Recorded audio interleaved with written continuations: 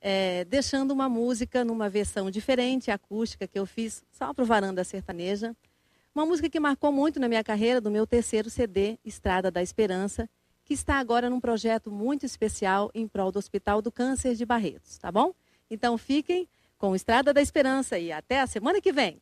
Eu vim de longe, muito longe, bem distante, e só eu sei o quanta coisa eu passei. Andei na estrada da esperança e da saudade, a buscar felicidade, quanta pedra eu já rolei. Andei do lado de um moço encantado, era poeta, em tanta coisa acreditei. Menina moça, loucamente apaixonada, uma noite enluarada, por amor eu me entreguei.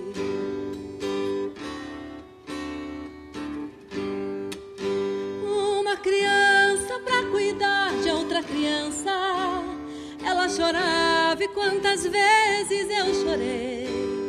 E cada porta que eu batia se fechava por tudo que faltava, outra vez eu me entreguei. E tantas vezes, tantas noites, tantos outros, por muito pouco, só pra não faltar o pão. Fui caminhando nas esquinas dessa vida, amargando a dor doída, eu e Deus na solidão.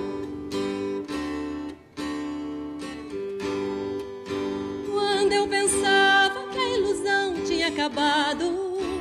Alguém chegou, me deu a mão e me falou que me queria sem ligar pro meu passado. Me queria do seu lado para construir um lar.